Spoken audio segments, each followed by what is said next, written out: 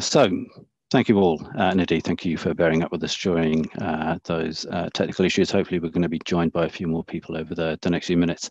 Uh, so, I'm Kevin Ashley. Uh, I'm uh, director of the Digital Curation Centre, and I'm just going to give really an introduction to this week of events uh, of 10, well, actually 10 plus years of DMP Online, I'll explain uh, in uh, a moment um, and describe where we came from uh, and to some extent where we're going.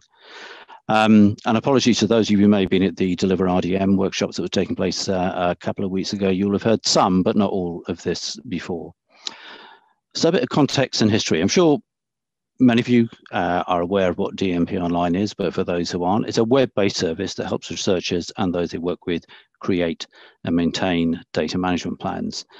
It was launched uh, in 2010 uh, by the DCC, uh, shortly before I took up my post here. And that's why I say really, in a sense, it's 10 plus years. That was the, the launch, but clearly there was a period of development uh, and, and conception of the idea that went before that. But we're choosing the launch uh, to, to, to, mark the celebration. We'll be hearing more about that later. Um, the DCC was then a national body funded by JISC, uh, which in a radical rebranding has now renamed itself as JISC. Um, and it was initially really aimed just at researchers. That was our target market and aimed at the UK because our funding uh, was uh, for the support uh, of, of UK research. But we saw international potential in this uh, from the outset, uh, and we wanted to demonstrate that this was something not just dealing with the peculiar requirements of UK research or UK funders, uh, but but was uh, indeed internationalizable. And so we we added in uh, the few requirements of US funders uh, from the outset. It was free to use, and I think it's fair to say the international interest in it exceeded our initial expectations. And a lot of work then happened over the next five years. We made major revisions, um, in, including services uh, and interface for organizational administrators. We made the code uh, open source, and that was a part uh, of a general um, shift to openly licensing everything that the DCC was doing and making that our, our default. And we thought hard about how to attract um, the international funding to support an international service. We initially assumed that we'd be do that by going to national funding bodies, and with some exceptions, I think we were wrong about that. You'll be hearing more about that later. And we could also see that that national UK funding was under threat, and so we pursued other routes to support feature development. And indeed, we got our host university to invest some of its own money in paying some of the, the, the running and development costs at the time. And by the end of 2015, we had our first paying overseas customers, and that brings in a whole bunch of things that aren't to do with co-development or anything else. They're to do with contracts and service agreements and legal uh, and administrative support. Um, and we knew by then that our predictions about losing national funding were right. And so fast forwarding to the present day, we've these figures are probably already out of date, but the last time we, I checked, um, it was being used by 203 organizations, 83 countries. I'm not going to go through all of these um, numbers here, but it's used uh, by research organizations and paid for uh, by over 50 so far. The code is still open source. Um, uh, the DMP roadmap is still free to use for the end researchers, whether or not their organization or funder subscribes. Uh, and I think one other interesting tale about development here is that the team and the service team behind it is bigger than it ever was when we were being supported by national grant funding. And there you can see in that second map, that's those who are making use of that open source code base to support their own services. And I'll say a little bit more about that distinction um, between the two uh, in a moment.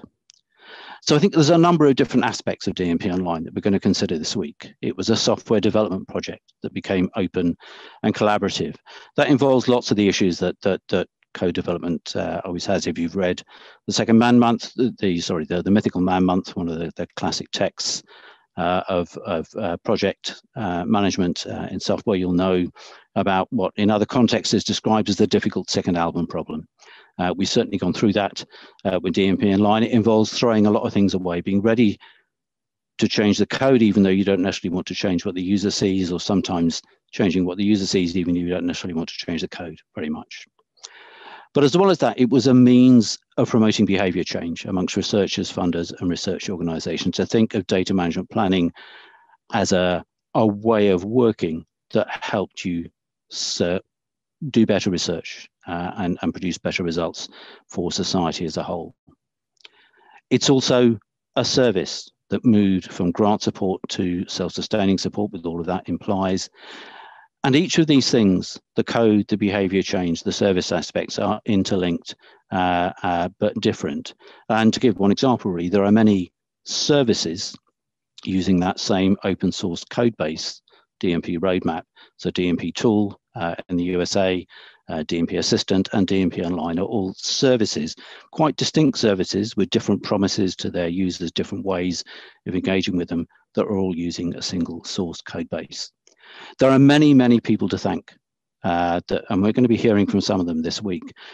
I guess some of it really is my predecessors in DCC management. When I came along here, I inherited something that was already in existence.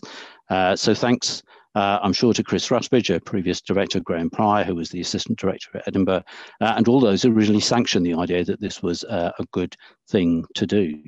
The funders who at different times have supported it, JISC, the European Commission, and the University of Edinburgh. The project and the service managers, Martin Donnelly, Sarah Jones, Patricia Herterich, uh, all of whom I'm glad are, are, with us today, and we're going to be hearing at different times about their uh, experiences. Um, a team of developers from John Pattenden Fail, Adrian Richardson, Patrick McGann, uh, a team from Dean, Jimmy Angelakos, Jose Loret Perez, John Pinto, Colin Gormley, Martin Nicholson, Sam Rust, and Ray Carrick, who've been supported at various times by interns, Theo Hyam, Killian Dunn, Damodar Soika. Um, I could mention that Sam actually could appear in that list twice because he began as one of our interns and is now uh, our, our, lead developer. And it's great uh, when we, we see things happen uh, in that way.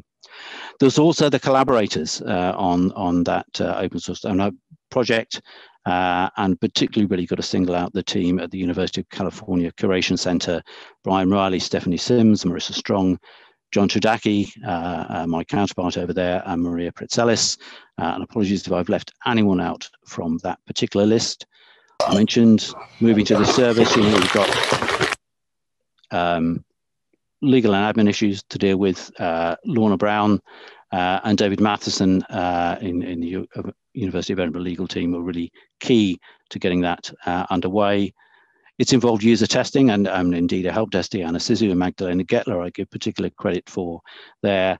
Uh, and many of you are familiar with Magdalena Drafiova, uh, who's our customer development manager. So what's going to come this week? Well, you're going to hear more about that service from its beginnings to its future.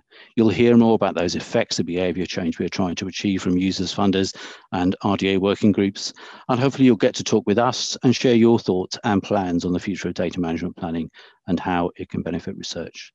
So I'm going to hand over now to those of you, uh, to those who are going to be able to cover all of these aspects for us this week. Thanks very much.